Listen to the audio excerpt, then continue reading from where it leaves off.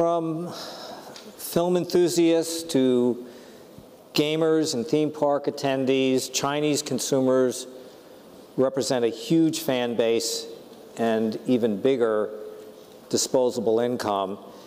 And so we're going to spend a half hour here talking with um, two of the uh, leaders in media and entertainment today, both here in China uh, and in the West, um, and talk about what the future of entertainment looks like in China. Um, I have a great interest in this for many reasons. Um, uh, one, uh, I was partners with uh, Li Ruigang in starting a company called Oriental DreamWorks. Um, I uh, had the great uh, pleasure of literally coming here once a month for seven years. I'll say that again, once a month for seven years.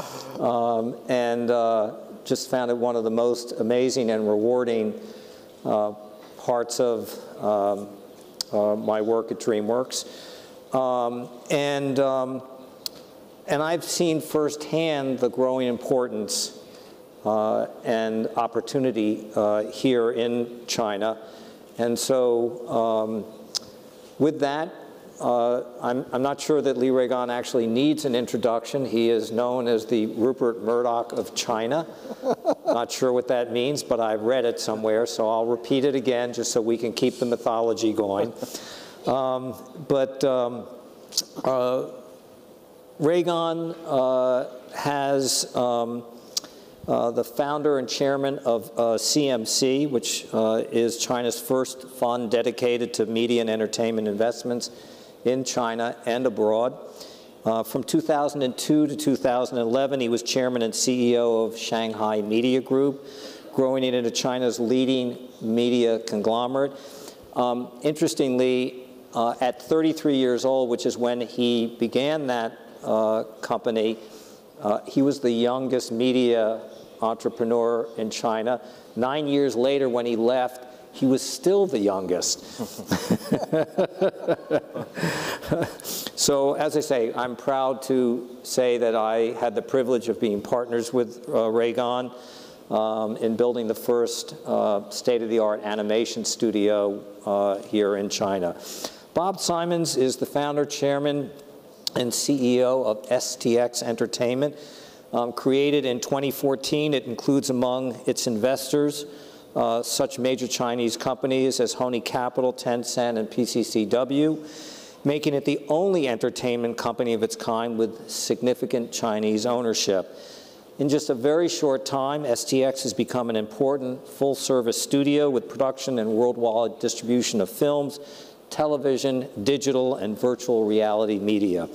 Um, before STX, which is where I first met Bob, he was one of the most successful producers in Hollywood, um, and and with his uh, expertise uh, was comedy, and I think his movies at the time had grossed something like six billion dollars.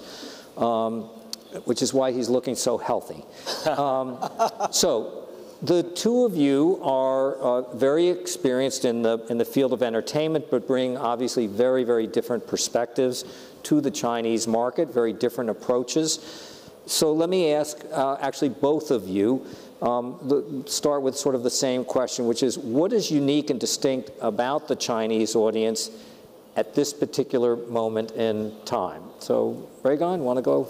Yes, thank you, Jeffrey. Uh, I think to answer this question, uh, I think I would, um, would like to touch three, uh, let's say three dimensions. Uh, first of all, I think the um, I mean, where um, is the new audience, let's say.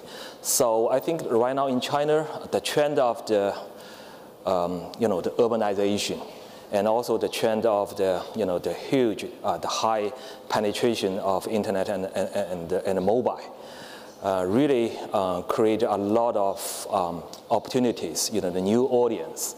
I mean, um, not only in the past, you know, all the demand, most of the demand actually came from the top tier cities. But right now, because of the technology, because of the urbanization, so the huge demand is coming from the lower tier cities. I was here just yesterday. I went to a small town called called called called, called Xiaolan.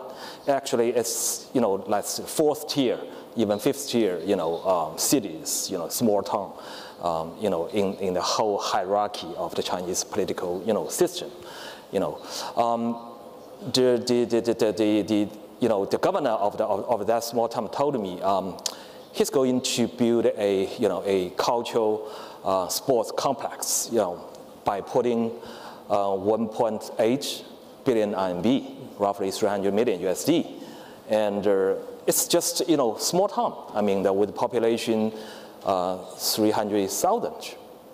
And they would like to put such huge investment into in, in building, you know, the, the, the, facilities. So when those facilities are available, and also the, the people in those, you know, in those tier, lower tier cities, I mean, they're creating a lot of demand. So that's one thing. The second thing I want to, you know, emphasize is the, the younger demographic. I mean, those younger demographic actually is enabled or empowered by the new technology and uh, um, they become the, the, the, the news, news stream the, or, or, or, the, or the mainstream for the, for the content's consumption. And uh, adjacent to that, um, the third dimension would be the, you know, especially those younger demographic, they're willing to pay.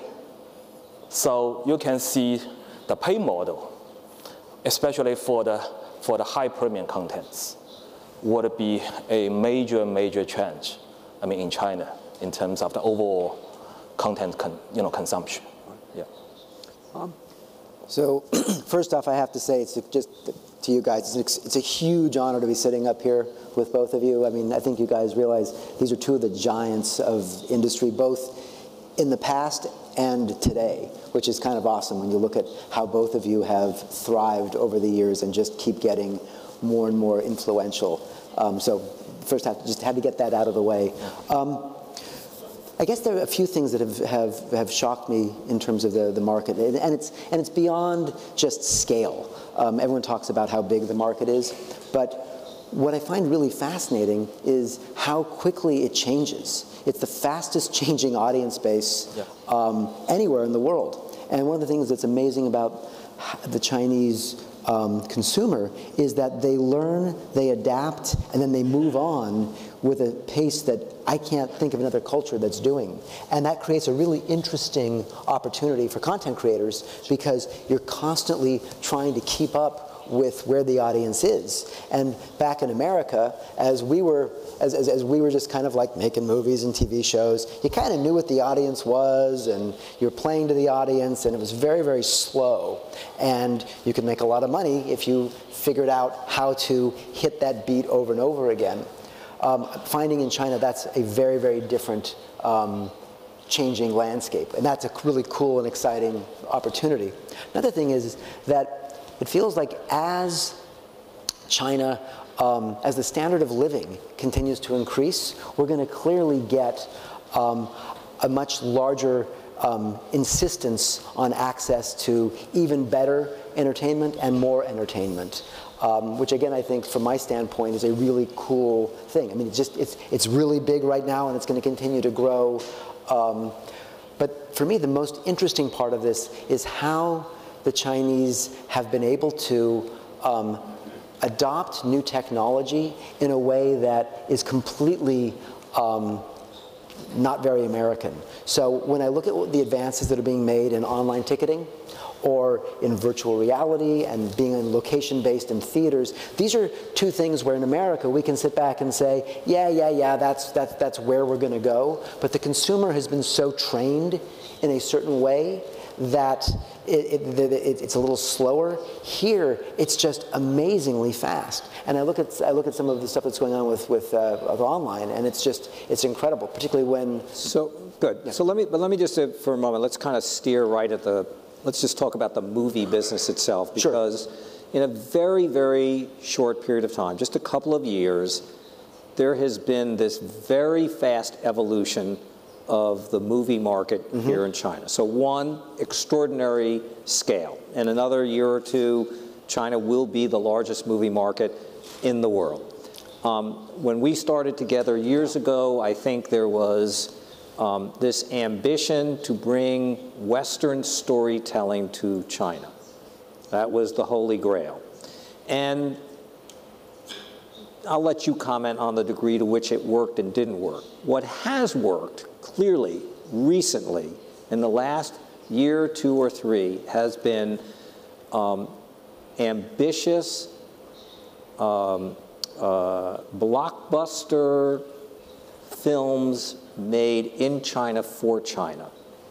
And they have succeeded on their own terms and their own merits. They're not Western Right. in any fashion, shape, or form. So you're coming at it, bringing Western resources here. You come at it from a place where you've watched firsthand, uh, you know, how Monster Hunt suddenly, Yeah. out of nowhere, becomes the biggest movie ever in China, and now uh, more recently too. with Warrior. And so, what's your point of view about this? Where, what is the future? What's the future of China in China? What's the future of China exported to the rest of the world? And what's, what's the future of Hollywood in China?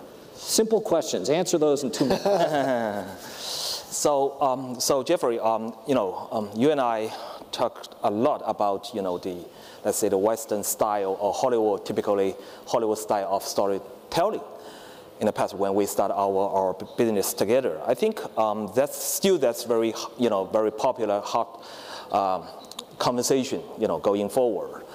My sense is, um, first of all, um, even, even though we have, you know, the system of quarter, right, imported movie, for, for, for imported movies, even though we have the system of censorship, Western contents still the, are, um, I think, still occupy people's, a lot of people's, you know, time for consuming contents, you know, online, you know, because on traditional conventional TV, very limited for foreign contents. But online, there are a lot.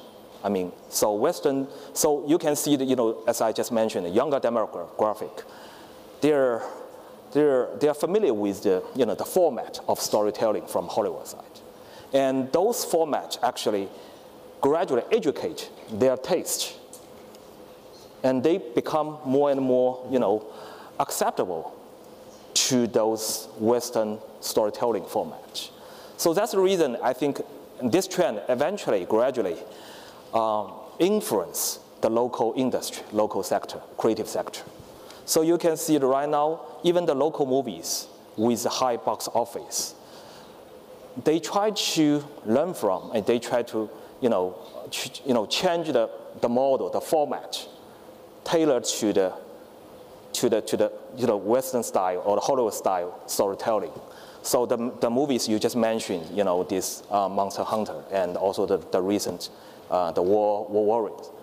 Actually, if you look at those movies, if you watch the, the movies, you can feel it's, you know, the story is China story, right? Basically, with a lot of China, you know, background and, uh, and, and elements. However, the pace, the rhythm, and, the, and then the mechanism of you know, present, presenting the story is Hollywood. It's Hollywood. So that's the reason I think going forward, two sides will work together more closely than before. And that's the reason recently um, in Shanghai, we are working with, um, you know, your friend, uh, Dr. Jiang, his school, uh, Shanghai Tech. Shanghai, Shanghai Tech is working with USC Film School to create a program inviting uh, the writers, you know, um, the uh, directors and the faculties from USC Film School to teach in Shanghai. So we have the mass class, you know, working with the local talents, you know. So I think that's the and and uh, that's, that's that's that's one thing, one aspect. The other aspect I just want to uh, want to um, you know um, discuss is about the you know, you, you just mentioned if China is, is going to replace, I mean, the export, exportation of the, of the contents, I think it's still a long way to go. Because it's not about one hit, not about one movie creating huge box office. You know, one hit doesn't, you know, means too much. The system, I think, is the major thing we have to consider. Hollywood is a system. Everything is about an industry, It's a, systematic way of, of creating contents in a long way. So it's about education, about talent management, the system of talent management, about the whole system of the creative production, and even financing. So it's an industrial. So China right now, I think, to be honest, is still behind because of the, because of the system. It's an industrialized system for creating premium contents in a sustainable way. So that's my comments. Bob? Thank you for saying that. I mean, it, what's, what's interesting is that I agree with everything you just said, but it does feel very much like we're at an inflection point mm-hmm. where, I mean, I think you all know this. I mean, traditionally, America has exported sort of two things. We've exported military and we've exported culture. And that's about to change. And part of the reason that we were able to export culture was because we were, at the time, the one country in the movie business, we were the one country that had a big enough and vibrant enough domestic audience that we were able to build out the infrastructure that Ruigang is talking about to not just satisfy our domestic audience, but then start projecting it into the outside world for the first time in history, because remember this, the Italians, the French, the Germans, they'd make great movies, but they didn't have the infrastructure and the business to project out.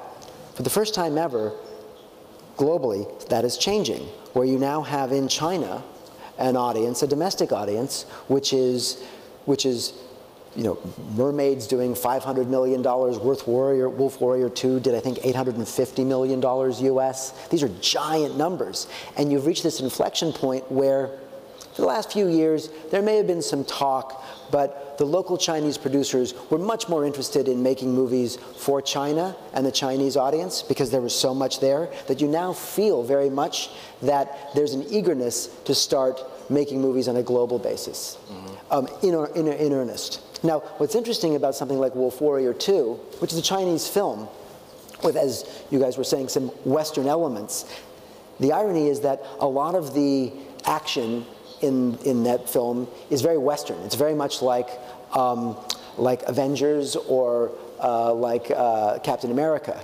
Ironically, the Russo brothers, who directed Avenger, who, who directed uh, uh, uh, Captain America, actually did those sequences. They, they, were, they were uncredited, but they were actually there doing a lot of the work. And um, the result was amazing. But what it does feel like is that there isn't, I, I, say that as a, as a caveat because I don't actually think the Americans have anything to teach the Chinese. The truth is, when you have this big an audience that is so successful here, I think where this will end up is Americans saying, this is what we've learned about the rest of the world. What can you teach us about China? And in China, in China they, they come together. So I do think it's a So when you set out to make a movie today, mm-hmm. how much are you thinking about the China market first? Particularly given your investment investors and your uh, interest here in China, is that a first thought, a second thought, a non-thought? It's, it's always, it's a great question. It's always on the table. So given the fact that we need to make, market, and distribute 12 to 15 movies a year, um, and because you need volume and scale to keep your system vibrant and to keep your system, to keep the pipes full. Um, what we do is we focus our energy um, within that on certain projects that some of our partners, whether it's Tencent or Alibaba, that we can sit down and talk about how to do what we call a proper co-production. Now, we've all seen those movies where they're Chinese with some Americans or they're an American film with some Chinese. They're not really working. They're not, they're not they're not, they're making all their money in one market and a little bit somewhere else, or one audience is responding to it and the other. Um, we had actually just, probably a, a, small example, but we had just done what we think is a proper co-production with Jackie Chan called The Foreigner. It was a small $35 million film. It'll do about 150 million worldwide when the smoke clears, and that's just box office. Um, Half of the money came out of China, half of the money came out of the rest of uh, the globe. That was one of our goals going in. The other one was we got an A cinema score in China, an A cinema score outside of China. Uh, we wanted to speak to both audiences. But how we approach that and how we're approaching this going forward is to literally sit down and have a conversation with our Chinese partners and say, thematically, will this work? And that's not something that, that, I was shocked. That's not something that we'd seen before. So whether it's Tencent or Alibaba, they're used to writing checks and getting the rights. They're not used to sitting down at the table and actually talking about how to co-do this. This is probably something you guys did a lot at DreamWorks, um, Dream, Oriental DreamWorks. But um, when we sit down, it's very much at the, at, at, at the let's find the common ground. So having these two leading giants, both Tencent and Alibaba, as partners, investors in your mm-hmm. business, what do they do for you here in China? What, how are they impacting your business? What are the resources that they're able to bring? What's the advantage that you have today versus the guy down the block? So one of the interesting things is, you know, Tencent, who's one of our owners, you can't go through the day in China without touching Tencent. It's, it's just, they, they, they right? and um, what we find when we, when we deal with them is they give us a point of view creatively on what they think will work. They have access to data that we don't have. They have their finger on a pulse of, of what um, they think will resonate here. Because uh, when I was younger, I produced a bunch of comedies. In fact, I worked for Jeffrey on a number of those comedies. Comedies don't travel, um, uh, but emotional resonance does. So it's forced me and my team into a position where you try to find that universal theme, that thing that speaks to the heart everywhere else. And, and I can't fall back on just something as simple as a comedy. The, our partners in China creatively help us find that theme that, and that those values that resonate across all cultures. It's, it's much more than just, hey, cast this person or cast that person. Um, and once you've made that movie and you go to release a movie here in China, the, what's the leverage? What's the resources that, you know, um, that, that you get from these companies and the power of their platforms? It's amazing. I mean, uh, uh, look, we were the beneficiaries of, of uh, just referring to it again, the, the, just because it's recent, the, the Foreigner, the Jackie Chan movie, we were released during Golden Week. Now, it's a co-production, but it was, we had Chinese partners, and we were placed in a super, super profitable release window um, that the government and the, the powers that be were able to sort of carve out a nice runway so you could just chug along. This is something that we don't have the benefit of in America. I mean, when we release 12 to 15 movies, when Jeffrey was running Disney, you were releasing 25 movies a year. Um, we're all piling on the same dates, and it's there's a lot of cannibalization and there's a lot of chaos and a lot of fighting to get that audience. And what we're seeing here is that depending on your partners, it's a much more organized, thoughtful approach, um, uh, like a lot of things here. So, Ruigang, the, um, talk about on the investor side of the business. Uh, in 2016, there was, uh, I think, uh, just over $4.5 billion of investment capital from China into Hollywood. In 2017, it will be less than 400 million. Que pasa? yeah. What's going on? I mean, um, maybe um, two points um, around this topic. First of all, I think um, government is sensitive and they're sending a lot of warnings to the to the you know entertainment sector to do overseas investments. And some of the company actually who are very ambitious in this area um, they had very high leverage in the domestic market. So government is concerned about, um, you know, that would, uh, you know, to some extent jeopardize the local banking system. So that's, I think, the original uh, thought from the, from the government perspective. On the other side, I think um, I think China investors, especially, uh, need to be more sophisticated. I mean, to some extent, from the Western, you know, world, you guys look at China, there are a lot of dumb money, right? T- To some extent. Not me, I never use that word. I mean, but, uh, but it's a fact, you know, to some extent. Well, listen, every part of the world has, has dumb money. There's, that's- you, don't, you don't have a, there's nothing unique about China in that. Mean, there's some very, very, why- there's some incredibly smart, brilliant, Sure, sure, sure, definitely. smart as money as you can get Yeah. in China. But, you know, there are people that maybe are not sophisticated and don't understand it. But that happened, money came out of, you know, Germany and Italy and the UK and India and like the list is endless. It's not, there's nothing unique about So it. So I think you know slowing down the pace of the investment, getting let you know all those investors getting getting getting mature might take some time, and I think um, there will there will be some lessons from all those investments. So do you think investment will pick back up, that they'll be smarter, I- I'm more sure. sophisticated Yeah, I'm sure. learning, and they'll, Right. you know, I think learning curve should be you're already already there, um, right? So some people take lessons, some people will continue to to to to to, to proceed. And I see um, the momentum is still there. I see momentum is there. You know, the basic, I think, the, uh, the, the logic, or also, yeah, as, as also my, my belief is, going forward, I think you can see the trend. I mean, globally, U.S., North America, still the major you know, market for the content consumption, right? So China is coming up.